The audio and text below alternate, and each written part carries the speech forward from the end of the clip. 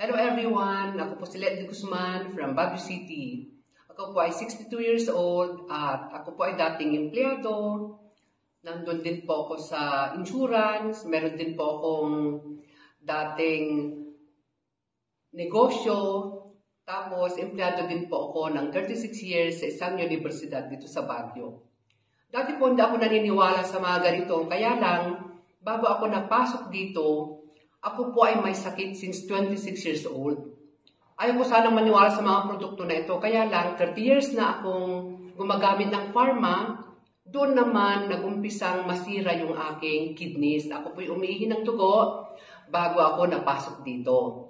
Yung dating taong ayaw maniwala at of desperation, pumasok po ako sa For Life because of health reasons.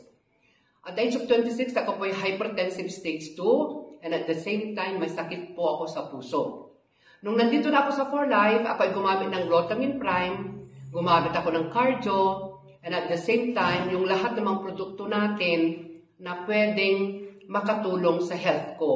At alam nyo ba, kung ako ay senior citizen ngayon, nakakatuwa kasi that's the time na wala naman po akong maintenance. Wala na akong ginagamit na amlodipine, wala na akong ginagamit na losartan. Ang ginagamit ko na lang ngayon ay yung for life cardio natin at the same time yung glutamine prime. Alam niyo po, ako po ay nagpa-2D echo last January at alam niyo ang sabi ng aking cardiologist, napakaganda raw ng puso ko kasi na-overcome ko yung aking sakit sa puso at at the same time, yung ejection fraction ng puso ko from 55 to 76 na normal, mas maganda raw po yung sa akin kasi naging 80. Yun yung naging resulta nung paggamit ko ng produktong cardio at saka glutamine prime. So kung nangyari po ito sa akin, uh, inaanyayahan ko po yung lahat ng mga nakikinig ngayon o kung nakikinig ka man sa video na to, subukan mo yung produkto kasi ano man yung nangyari sa akin, pwedeng mangyari sa ating lahat. Thank you so much!